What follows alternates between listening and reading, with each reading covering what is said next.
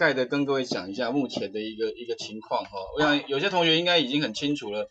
但是呃这个部分的话哈，就像这个手机啊越卖越贵哈，那它的相关你要了解就是说，哎到底它贵在哪里？比如说它的处理器，为什么现在处理器已经进化到哪一个版本？那另外最近 Intel 它也加入了。Intel 之前是没有没有用，就是主要是桌上型的，现在已经跳进来，而且它做的还不错。我不知道各位有没有去观察它的效能变化。其实它如果效能达到超过像高通啊，或者像联发科的话，哇，它的其实看起来应该是有了，它的单核心可能就那个联发科的四核心的效能。好，不知道各位有没有特别注意，它的单核心就是高通的双核心的效能。好，而且它的价钱又比别人杀。所以为什么最近华硕那一支可以卖这么杀？就是 Intel 哈，他就打算要来跟他们大大大血拼的哈。那相对当然获利的就是一般消费者。为什么以前一支五寸的哦，而且耐摔，它是第三代那个康宁玻璃啊，耐摔型的，各式各样的都都有，卖不到五千块，所以获益的也算是一般的底层消费者。那可想而知哈，硬体的部分已经是红海了。硬体的部分应该已经没什么利润的了。你说杀成这样子，能够赚什么呢？对不对？啊，润又两 G，不用还十六 G，够用了。好，那这个部分的话呢，哈，现在当然 HTC 卖不好，那也是可想而知。两万多块，你说要卖给谁呢？哦，OK，那所以它这只能在什么一些呃什么什么相机上面做做，但是坦白讲了哈，我要是我消费者，除非你跟什么徕卡镜头，或者是你控 Canon 跟他做合作，上面就打徕卡好了。你打徕卡，我你多一万块，我愿意跟你买。但是如果说你上面是打 HTC，我干嘛跟你买呢？对不对？就是说那个品牌迷失还是有的。就上面的镜头，你的那个价值要提高的话，哈，还是需要的哈。所以为什么刚刚有讨论那个 Apple 为什么卖这么贵？因为 Apple 就是一个品牌，那个苹果哈。它其实就就是一个名牌了，对，你说 HTC 跟一个 Apple，苹果那咬一口那个，对，再怎么样的话哈，它的价差就至少一万块，我感觉啦，就是有那个品牌的这个价值存在，所以台湾的那个硬体厂商，那也也一定要在这方面做做努力。那神送呢，当然已经出到 S 三、S 四，啊，然后 S 五已经出来了，那那个。呃，华硕的真的创意还不错，它自己有走一片天的，我觉得它那个就是插上去那个变形哦，哎，真的还蛮好用的。其实我我自己是用它东西用的还蛮多的啊，所以它那个变形平板，我我我自己是用这个东西，我觉得真超好用的，因为插上去又可以充电，又可以放大，它又是一个随随身的行动电源，哦，然后又耐摔，真的超耐摔的。因为我家小朋友，我给小朋友玩，他是摔好几次，没没破哎，哦，如果 iPad 的话，哇，完蛋了，一摔下去哈，原哎面板碎掉哈，原厂报价九千八百多块吧，哦，碎掉一定碎的。那华硕的那个面板的好处是，它是用康宁的玻璃，哎，真的耐摔，因为我亲身试验过了，哦，真的耐摔，也真的不像那个 Apple 的哈，一摔或者 Samsung 也是啊，Samsung。摔下去，我朋友有一个朋友他是摔碎了哈，他说原厂报价要好像五六千块吧，对，OK 好，那其他的话呢哈，这个市占率当然已经打败 iPhone 这没有问题了，那另外就是说呢，这个各各季的那个手机的变化，现在神呃从第一一年哈，这个已经大概超过那个超过 iOS 已经太多了，这个应该没有没有什么问题，现在已经。可能已经市占率超过八成了吧，Enjoy 哈，然后其他的各家的变化，我想很多啊。不过 Nokia 已经成为历史了，因为它现在要改名了，它不叫 Nokia，它叫做叫做 Microsoft Mobile，就是微软移动了，哦，所以很惨哦。它这个也是可能被微软的那个这个计谋给哈，因为他就是那时候呃什么，就给他 Windows Mobile 七，就没多久啊，Win。就跟他讲说，Windows 七已经不更新了，直接升级到八，但是八又跟七不相容。但是 Nokia 全部的手机都做 Windows 七哈，所以要把它故意啊让它倒，然后再把它买起来哦。OK，类似像这样，然后其其他的话类似像那平板的趋势大概从那个最早是 Kingdom Fire 亚马逊开始，它开第一枪，就平板一路就一直下滑，价钱从 iPad 的两万多块，现在已经没两万多，现在已经在几千块也有了。啊，所以现在你会发现平板这个市场啊，也是一路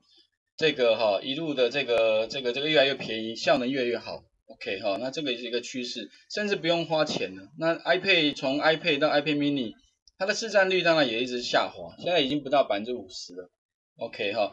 那可想而知的哈，这相关相关的这个产品呢，会越来越好啊。当然，App 的需求也会越来越高哦，所以这个大概有个了有个概念就可以了。那服务其实他们主要赚什么哈？其实最重要就是什么了？内容，就是数位内容。因为你这么多硬体，这么多的云端服务，但最后上面要放什么？你会发现啊，你不可能只一直玩游戏吧？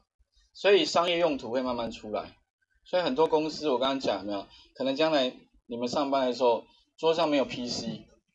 给你一个平板，叫你要做事情，哦，那你要怎么办？还是要做啊，事情要做出来。所以这个是一个趋势啦，哈。然后这个内容部分的话呢，哈，至少可以就是亚马逊它可以赚，把那个去就是说没有赚到的钱把它赚回来。OK，那这个是相关的平板的介绍哈。好，那趋势的话大概哈。会有几个啦，反正 CPU 现在适合可能八核了。荧幕的话，哈，从四寸、四点五寸一直到五寸，可能但六寸可能太大了。但应该它会做到没有边框了，所以你会发现手机没有变大，但是荧幕变大而已。那解析度的话，已经超高解析度了，那个画质哈，清晰到真的是比相片的画质还更好哦。所以这个部分还有 NFC 啊，NFC 的话是。短距离有点像悠悠卡这样的短距离的这个技术哈，甚至你可以拿它来做一个小额付费啦，所以现在手机付费已经不是问题了啊。不过用的比较多是 QR code，为什么？因为像有些那个你搭高铁的话，它会给你电子票证，就是 QR code，你扫扫扫过的话是一个 QR code 哈。所以后面各位可能也要想一想说，哎，如果你的 app 做出来，假如你不传到 Google Play，因为不是所有的 app 都一定要放在 Google Play。所以如果你不是放在 Google Play 上面，有没有什么方式可以让人家用一个 QR code 直接就可以装在手机上面，很简单的装上去。好，这个我想我会要补充一下。所以以后你做完之后啊，你每一个都可以做一个 QR code，然后每个都扫到自己手机里面看一下，哎，这个方这个结果 O 不 OK？哦，而且你会发现每一只手机装起来的结果都不太一样，因为会有解析度版面的问题啦。哦，所以这个部分的话，我想后面我会再跟各位做介绍。另外的话还有 LTE 啊，也就是说那个市区的上网，哦，有没有那个速度要更快？不过这个部分的话，哈，目前呃也还是卡在那个就是基地基地台业者啦，因为那个频宽即便加大，可是你的基地台不够多的话也没有用啊，因为像现在有时候就是说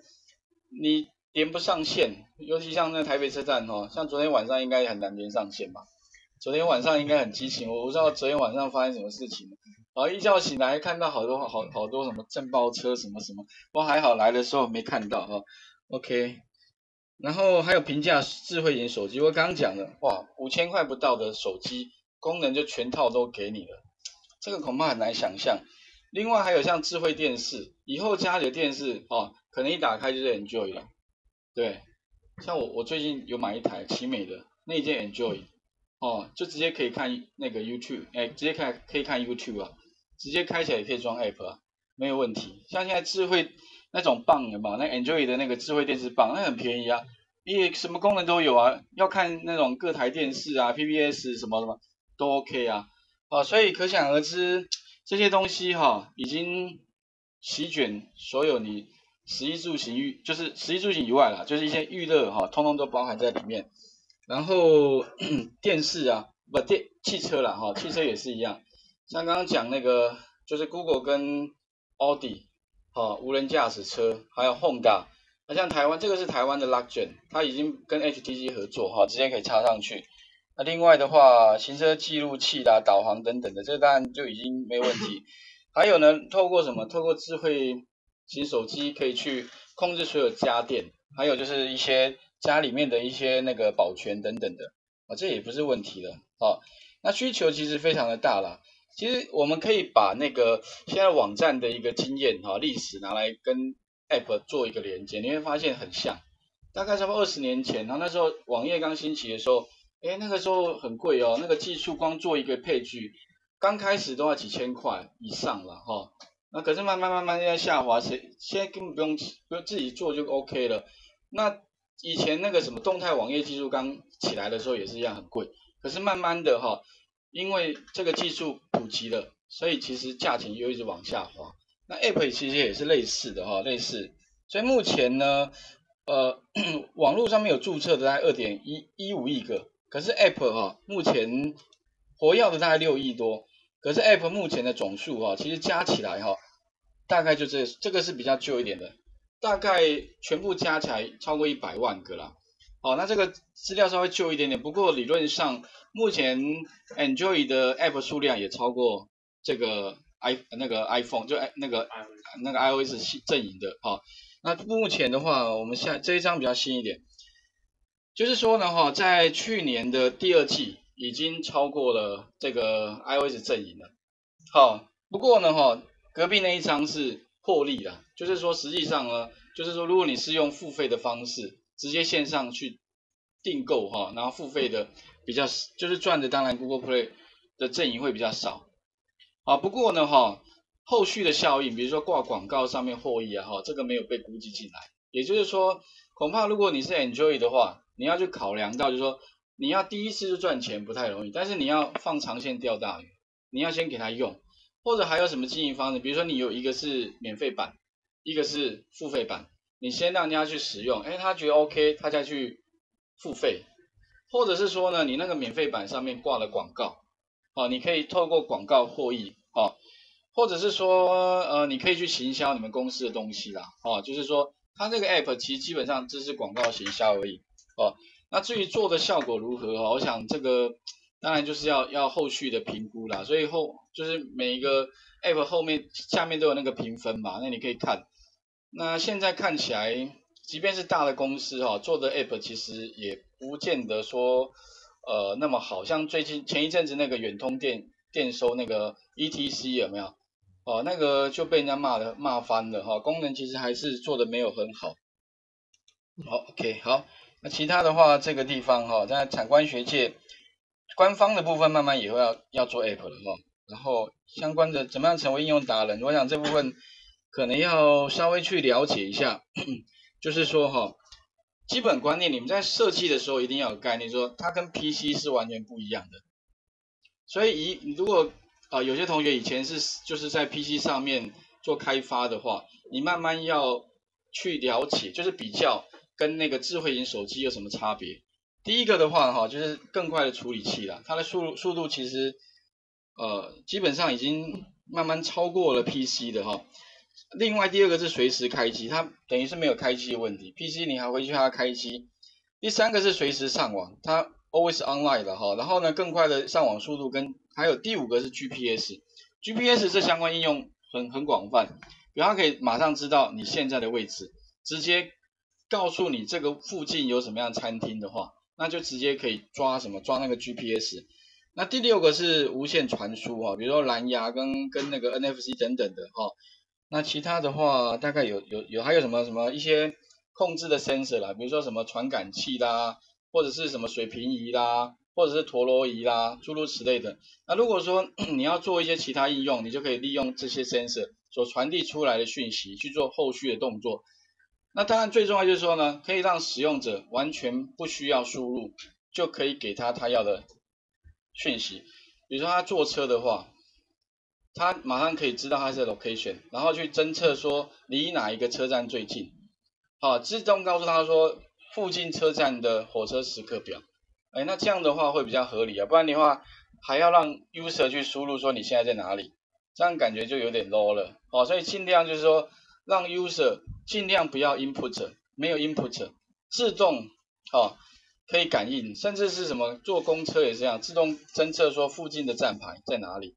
或者说你要搭小黄的话，自动侦测，告诉小黄说你在哪里。比如说最好是一一键就可以完成的，按下去小黄就自己知道你在哪里，因为它传递你的 location 给那个小黄哦，它马上可以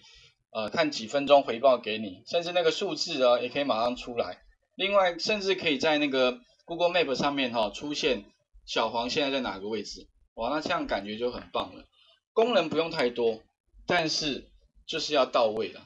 OK 啊，所以其实有些有的时候就是你不用想很多啦，啊，让使用者什么按按钮干嘛的，哦，那或者是做后续动作，尽量不要哈。那其他的话相关的呃应用部分哦，我建议各位也要花一点时间去了解。如果你对硬体设备不熟悉的话，恐怕要去，比如说像 Root 啊，不知道各位有没有 Root 过？哦，因为有些 App 你一定要 Root 之后才能安装，哦，所以 Root 应该知道吧？哈，就是管理者啦。因为你手机出来你是 User，你要把它变 Root，你才有办法做一些进阶的动作。OK，啊，另外还有其他像安装非 Google Play 的 App。因为如果你 一般是只能装 Google Play 上面下载的，那如果说你是从外部像我们写好的要传过来，它会出现无法安装，所以你必须要在应用程式里面找到未知来源的那个选项，你要把它打勾哦，不然的话连安装都不行。很多同学好像都不知道，像我之前上课同学说，哎，老师不能安装哦，对啊，因为你那个未知来源选项没有打勾。另外还有一个什么 USB 出错，那个有时候你接 USB 有没有？恐怕要打勾，不然的话你开发的时候也会有问题啊。所以在手机的设定上面，请各位务必花一点时间去熟悉你的手机。第一个了哈啊，还有相关的什么，你的论、你的 CPU 多少，你的论多少，你的 ROM 多少，好啊，最好当然一只手机不够的话哈，尽量多一只手，或者是你多去了解别人的手机啦，哦，这个也是有必要的。再来就是说相关的 App 我讲过。你要去设计出一个好的 app 之前，你要先知道哪一些 app 为什么它会受欢迎，下载次数为什么会高。那你自己如果将来哈可以做出一个 app 哦放在上面，假如它的下载次数有破百万的话，我跟你讲，你可以把那个破百万的当成是你履历上面的一个很重要的项目，哇不得了了，你根本破百万，你放上去根本不用去找工作了，人家来找你了。哦，所以如果你可以做到破百万的境界的话，哦，那这样你就不用找工作了，工作会自己来找你，哦，这种感觉，哦，OK，好，那其他的话相关的哈，这个 大家去了解。那模拟器当然很多了啊，其实模拟器各位也可以玩玩看，我在云端上还有放一个模拟器，就是说不只是因为你有时候不只是在手机上呃可以安装，在 PC 上你可以装模拟器，也可以把 App 下载到那个模拟器里面玩。好，这个在云端上面有放这些东西，其实还蛮好用的。啊，那甚至玩游戏哈也还还蛮好用的。啊，因为在 PC 上电一定画面比较大。还有就是说相关的 App 啦，太多了。这里有什么？像这个 Sky Map，不知道根本用过哈？就是说如果你现在想要知道天空上面，尤其是你跟朋友去看夜景。哦，或者看跟异性朋友去看夜景的时候，哇，很浪漫。然后你告诉他说，哎，那一颗星叫什么？我知道。好，你就把天空地图拿出来，一照，那一颗星马上就显示出来了。哦，那感觉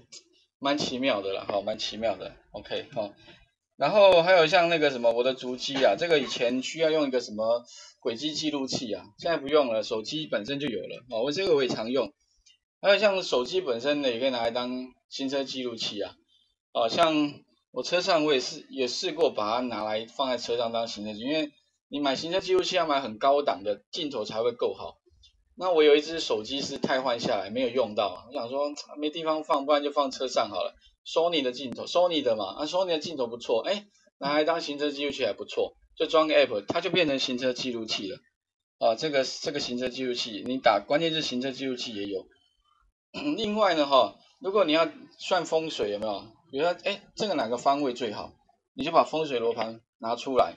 好，马上知道家里的哪个方位最适合住人。OK，好，这个是风水罗盘，这个有些相关的应用，我想各位都要去试试看了。那不要不怪，当然其他那个 Line 啦，或者是什么画的 App，这个当然不用讲哈，诸如此类的。所以这部分的话太多了，请各位哈务必要花时间去了解这些。啊，因为如果说你的使用量不够多的话，说真的，你要设计一个好的 app 哈，其实真的还是有一点点距离的哈。OK，好，那相关的目前的 这个哈呃最爱下载 Enjoy App 的，台湾目前是在第三位了啊，这个比较旧一点哈，不过基本上大概都是这些国家。那工程师需求目前 Java 占的大概第一、第二了哈，这个我想应该也是也是趋势。那目前人力银行需求越来越高，好，至少都是几千人的需求。OK，那这边有一个，像之前有同，这个是一个一个学生哈，直接 po 文问我说有没有相关的那个，他是说啊，这个四万五到六万，好，男生，呃，他问我说有没有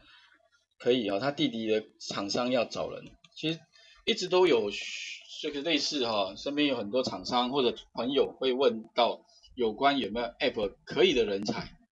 好，所以这部分的话还有什么呢？这边有一个是什么？月薪五万起啊，不过是呃可以有哪些？平时工作可选择在家或公司，完全弹性，啊，工作时间无特别规范，依个人习惯为主。哦，想说哦。想工作就工作，不想工作就可以去度假了嘛，哈。然后呃三这个当然哈，然后有二十七寸的可以无限，月薪五万起，哈，保障年薪十三个月，OK 哈。当然不过我讲过了，这个是属于，那你要有一点点一点点啊基础，你一一样能够拿出说一些东西，确定你是 OK 的，人家才有可能会给你这些哈。其他啊，这个是学生以前以以前的学生做的，来把它放在，他是做一个这个指南针指北针啊，我觉得还不错。哦，还有一些什么 云端叫号的，哈，还有做什么 武士达人的，啊，如果你以前是做武士相关的也可以做，还有什么记事本，啊，也是出差记事本，或者做一个小游戏啦等等的，哈，OK，然后还有什么找车的。比如你现在车停哪里不知道的，你也可以把那个拿拿出来，好就可以知道说你现在的方位在哪里。那我觉得啦，我看到就是说，哦，他之后发展比较好的同学都是一定要有作品的，而且要很往这个方向，无论你做多少。还有一个同学是怎么讲？他最做 app 已经做上瘾了，我一直做，一直做，一直做，一直做，好，反正同一套东西嘛。那虽然做的坦白讲没有说很。很怎么样？但至少他有，哦，那他有之后，感觉他有在修正，所以他会越来越好。所以先求有，啊，再求好，至少你可以让人家看到，之后呢，你可以再更好了。好，我想这个也是阶段性的，不可能说你一下子马上就可以呃做出很怎么样的 app 出来。OK，那刚刚的部分是有关哈，就是刚跟各位开个头了。那相关的新闻呐，相关的讯息太多了。我想各位可以再再多花一点时间去了解啊，因为我讲过了哈，其实说说真的哈，你纯粹 coding 要能够呃发大财太难的了哈，除非说你要真的是非常非常厉害的，不然的话你就是要就是比较 open mind 的方式去了解一些需求，啊，其实一般 user 要的东西其实说真的都没有很没有像你想象中那么困难，他们的要的东西其实都很简单。啊，最好功能都非常简单，就单一功能按下去，我就我就可以找到我要吃饭的东西，或者像刚刚同学好像有什么线上订订便当嘛，你是不是也可以做个订便当的 app？对，我要订便当按下去，第一个他会先侦测你现在的位置，第二个告诉你他怎么跟你媒合，那你也可以去跟怎么讲去找厂商嘛，反正呢我的厂商越多，媒合的几率越高，或者叫抽成，我当中介，哎。其实就是你的利润来源了，所以像之前有一有一有一个有一家小公司吧，他们也是这样，几个好朋友找一找，就是做了一个 app，找附近的餐厅，然后呢有打折，就跟附近餐厅算是呃商量，如果我带人去的话，那我们可以怎么样抽成之类的，哎，发现人家也是闯出一片天空。还有前一阵子有一个就是很简单的一个 app。叫什么？呃，帮他过滤那个过滤广告电话那个嘛，那赖就给他收购了吧？好像花了六六亿台币，里面员工只有几个？六个，好像六个，花了十八个月创业就成功了，十八个月哦，就赚了六亿啊！那员工好像才不五六个吧，所以一个人一年半分一亿，哇，那就可以退休了吧？哈，不过不是每一个。它的功能就很简单，就是什么过滤广告电话。所以他们刚开始没办法做起来的原因，是因为广告的电话资料库太少。所以之后他们广告那个那个电话资料库多之后，哎，比对就很成很容易成功，而且可以回报广告电话，它就可以把再建进去。好，所以这个其实它功能非常简单。第一个是查询云端的资料库有没有这笔资料，有回报，没有这个如果新的可以新增进去。OK，好，类似像这样子啊。好，画面先还给各位一下哦。那我们等一下再来看，就是呃有关 N。